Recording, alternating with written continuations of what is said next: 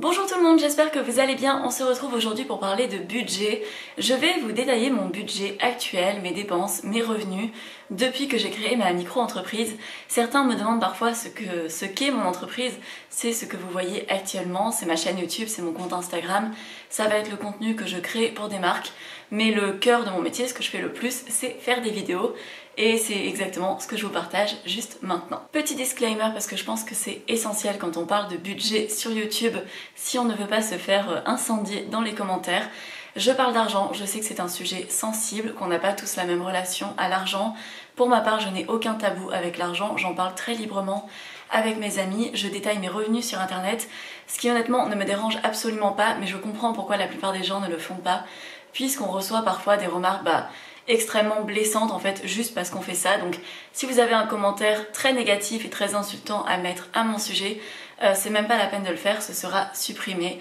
Voilà, on va passer à la vidéo. Mes revenus sont extrêmement variables. Je vais vous les détailler un petit peu plus tard, mais concrètement ça peut passer du simple au triple. Je me suis basée un petit peu sur un minimum. Le minimum que je vais gagner, c'est 600 euros par mois. Ça va être les mois où je fais pas de partenariat, où je n'ai pas d'affiliation et où simplement mes revenus vont venir des vidéos YouTube. Et généralement, bah, le minimum que j'ai touché actuellement avec la monétisation YouTube depuis que je suis monétisée, c'est 600 euros. Ça va être les mois, soit où je poste pas beaucoup de vidéos, soit des fois la monétisation en fait est très variable. YouTube ne rémunère absolument pas pareil selon les mois, selon les annonceurs, etc. Donc au grand minimum, je vais avoir 600 euros, ce qui est pour moi déjà pas mal. Je sais que ça peut paraître très peu, mais en fait, je vous en ai déjà parlé avant. Je me suis énormément organisée avant de créer mon entreprise. Je ne paye pas de loyer puisque j'ai acheté mon appartement avec mon compagnon, bien sûr, mais c'était aussi dans ce but-là que je voulais ne pas avoir de crédit, de loyer ou quoi que ce soit qui puisse euh, bah, qui puisse m'empêcher en fait de, de, créer mon entreprise et qui puisse me bloquer si jamais j'avais des mois avec très peu de revenus. Ensuite, il y a une petite catégorie liée aux dons, donc j'ai en moyenne 25 euros de dons qui viennent de différentes personnes sur Tipeee.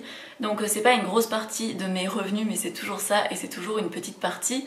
Pour vous donner bah, un indicateur, ça paye concrètement ma part de facture d'électricité, donc c'est pas négligeable non plus. Et ensuite, il va y avoir la partie liée au partenariat. Donc les partenariats, c'est ce qui peut être le plus rentable. Euh, je reçois des tonnes d'offres de partenariat et c'est vrai que j'en accepte quasiment pas et les seuls que je fais généralement c'est moi qui les contacte pour travailler avec eux parce que c'est des marques où j'ai déjà acheté le produit, je sais qu'il me plaît, je sais qu'il pourra plaire à ma communauté et mon objectif en termes de partenariat c'est minimum 400 euros par mois ce qui représente pour vous donner une idée un, partenariat avec une marque où je vais faire bah, différentes choses et créations de contenu pour eux. Les montants que je vous donne depuis tout à l'heure c'est net une fois que j'ai payé mes charges actuellement je bénéficie de l'ACRE puisque je suis dans ma première année d'entreprise. Mais euh, après, je paierai le double de charges, donc ce sera un peu moins évident. Pour l'instant, je paye 11% de charges sur mes revenus. L'année prochaine, ça passera à 24, ce sera un petit peu plus compliqué à gérer. Et ensuite, il va y avoir l'affiliation, donc c'est la partie que j'aime le moins en termes de rémunération. C'est pas du tout quelque chose que j'apprécie. Je ne le fais qu'avec une seule marque, c'est Casidomi, parce que c'est une marque que j'adore et que je sais que ça fonctionne comme ça et qu'il ne m'oblige absolument pas à en parler tout le temps. Je déteste les marques en fait qui nous contactent en nous demandant de, bah, de parler en permanence de, leurs produits, de rappeler les offres, etc. Et c'est vrai que Casdomi ne me demande rien et ça peut me rapporter des, bah, des montants très variables selon si j'en ai parlé ou pas dans le mois, etc. Mais voilà, ça peut me rapporter, pour vous donner un ordre d'idée, entre 0 et 400 euros par mois. C'est extrêmement variable. Donc c'est pour ça que je vous dis que c'est très variable, parce que concrètement, je peux gagner de 600 euros à, à 2000 euros, voire plus, si je faisais plus de partenariats. Après, je ne ferai jamais des tonnes de partenariats. Moi, ce que je cherche, c'est plutôt des partenaires réguliers, un peu comme, comme Casidomi, mais j'aimerais bien en trouver un autre ou peut-être deux autres pour sécuriser un petit peu mes revenus, puisque mon objectif, ce serait quand même de gagner un minimum de 1500 euros par mois. C'est à peu près ce que je gagnais quand j'étais bah, chef cuisinière en restaurant et ça m'arrangerait de gagner à peu près pareil puisque je trouve que c'est un salaire très convenable mais ça me dérange pas les mois où je gagne que 600 euros parce que je sais que c'est pas ce que je vais gagner tous les mois et je sais que ce mois-là j'aurais pas non plus dépensé énormément d'argent c'est pour ça qu'on va passer à la catégorie des dépenses puisque au-delà de ce qu'on gagne ce qui compte aussi c'est combien on dépense et c'est aussi combien il nous reste à la fin du mois finalement les revenus ont assez peu d'importance c'est surtout le reste qui compte. Alors si mes revenus sont plutôt très variables, mes dépenses sont relativement fixes, il y a un peu un, minimum, on va dire, de dépenses de charges fixe que je peux dépenser. Et en gros c'est vraiment si je réduis tout au minimum, les mois où j'ai pas gagné beaucoup ça va être 350 euros de dépenses pour le mois en comptant absolument tout. Alors les dépenses que je vais vous donner bien sûr c'est divisé par deux puisque l'autre partie est payée par mon compagnon dont je ne parle pas vraiment dans la vidéo ici. Ça va uniquement concerner mes dépenses et ma part de dépenses, ce que moi je paye. Nous on fait tous 50-50. Euh, même s'il a généralement plus de revenus que moi, mais pour autant, c'est vrai qu'on a divisé en deux, comme ça chacun paye sa part. Chacun a son fonctionnement dans un couple, on peut choisir de faire proportionnellement aux revenus de l'un ou de l'autre, ce que je trouve plutôt équilibré quand il y en a un par exemple qui gagne 1000 euros et l'autre gagne 2500 euros et si c'est comme ça tous les mois, je pense que c'est plus équilibré que celui qui gagne plus participe un petit peu plus. Mais dans notre cas, vu que mes dépenses sont variables, etc. et que je m'en sors très bien comme ça, on fait du 50-50. Ce qui veut dire que par exemple, on divise la facture d'électricité en deux, on paye 50 euros d'électricité pour deux et moi je ne paye que 25, donc la moitié. Ensuite, vu que je suis propriétaire, je paye en charge de copro et en taxes foncières 50,50 euros par mois précisément. Je vais ensuite payer en taxes d'habitation 22,50 euros tous les mois. Pour l'assurance habitation, je paye 8 euros également. Généralement, les assurances pour propriétaires sont un petit peu plus chères que quand on est locataire. En abonnement portable, je suis chez Red SFR et je paye 8 euros par mois pour un forfait où je crois que j'ai 40 gigas pour internet et ça me suffit amplement et bah, le reste illimité etc. Je sais que là si vous êtes euh, suisse ou canadien et que vous regardez ma vidéo vous trouvez que vraiment les tarifs sont très peu chers en France. C'est vrai qu'on a quand même pas mal de chance sur ça. Nos forfaits téléphoniques sont très très peu chers. La box internet pour une offre avec la fibre, ça nous coûte 12, ça me coûte 12,50€, donc 25 euros pour deux.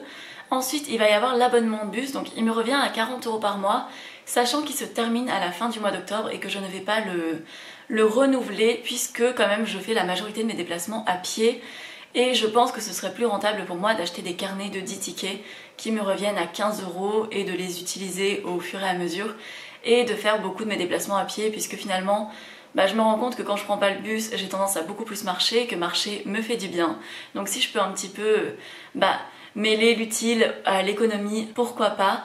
Et voilà, donc on verra ce que ça donne, je verrai combien de carnets de tickets j'utilise par mois. Si jamais à un moment je vois que je me mets à utiliser plus de carnets de tickets et que ça me coûte plus cher que si je prenais un abonnement de bus, je repasserai à l'abonnement de bus. Donc euh, c'est une petite phase de test. Pour la mutuelle, je suis sur celle de mon compagnon et je lui rembourse la moitié. Donc ça me revient à 20 euros par mois. C'est vraiment un point sur lequel je fais de grosses économies par le fait qu'il est salarié. Mais si un jour il est en indépendant, on devra se prendre des mutuelles euh, sans être euh, sans qu'il soit salarié. Et là ce sera vachement plus cher. Donc on en profite pour l'instant. Avec cette mutuelle on a absolument tout remboursé. Enfin je crois que je paye 1 euro de ma poche sur à peu près tout euh, ce qui est consultation que ce soit avec des médecins spécialistes ou avec juste mon généraliste. Donc ça c'est vraiment un très bon point. Ensuite on s'est inscrit au tennis, donc pas à Marseille mais on s'est inscrit dans la ville où habitent mes parents puisqu'on y va très souvent et que ça coûtait vraiment très peu cher. Ça nous revient à 8 euros chacun par mois et sachant qu'on va chez mes parents à peu près deux fois par mois et qu'on fera plusieurs séances de tennis pendant qu'on y sera, donc bah, ce sera hyper pratique et c'est vrai que j'avais envie de faire une activité physique en plus de juste le fait de faire de la marche, de la randonnée, ce genre de choses et de reprendre un peu quelque chose de plus, bah, de plus cardio qui me fait me dépenser un petit peu plus. Donc le tennis c'est parfait, j'adore ce sport et à ce prix là c'est vraiment très bien. Il y avait des clubs de tennis à Marseille mais je n'ai trouvé aucune adhésion à prix raisonnable.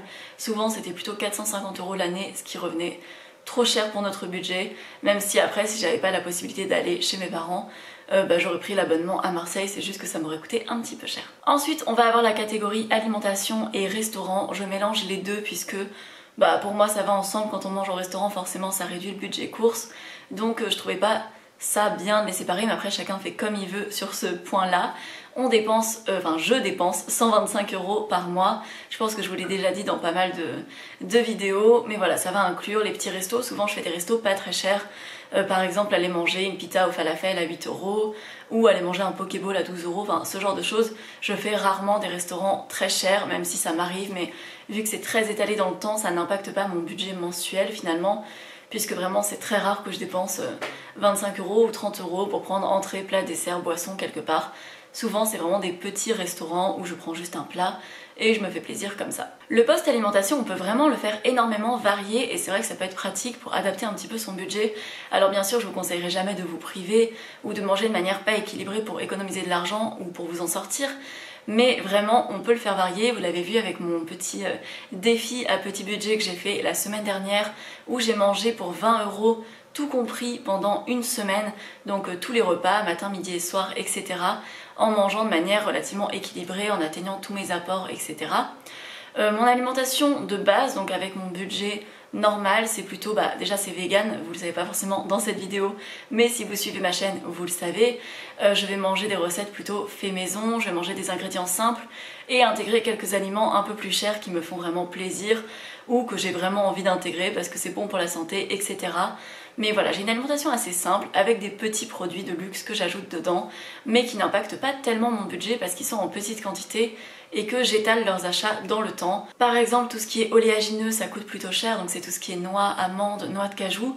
Mais généralement, je vais les acheter en grosse quantité et je vais avoir un paquet que je vais utiliser sur plusieurs mois et ça m'impacte le budget qu'une fois au moment où je l'achète et ça me libère du budget les mois d'après pour acheter d'autres petites choses comme ça. Enfin, j'étale un peu mon budget comme ça. J'ai plein de vidéos qui parlent de budget alimentaire si ça vous intéresse. N'hésitez pas à aller voir sur ma chaîne, je vous en mets une juste ici si vous voulez aller voir après cette vidéo. Et enfin, il va y avoir mon épargne pour les vacances puisque même les mois où je gagne pas beaucoup d'argent, bah, je trouve ça important de mettre quand même un petit montant de côté comme ça pour les moments où j'aurai envie de profiter, puisqu'il y a bien un moment dans l'année où on fera des petites vacances quelque part, donc je mets 30 euros par mois pour ça de côté. Là, on va bientôt partir en vacances, donc justement, c'est pour ça que c'est un peu de circonstance. On va aller passer une semaine à Paris, on sera logé par des proches, mais c'est vrai qu'on va faire énormément de restaurants, de sorties, je vais en profiter pour voir énormément de monde, on va visiter des tonnes de trucs, donc c'est vrai que c'est bien d'avoir une petite épargne pour ça. Mettre de côté c'est bien, mais profiter c'est bien aussi.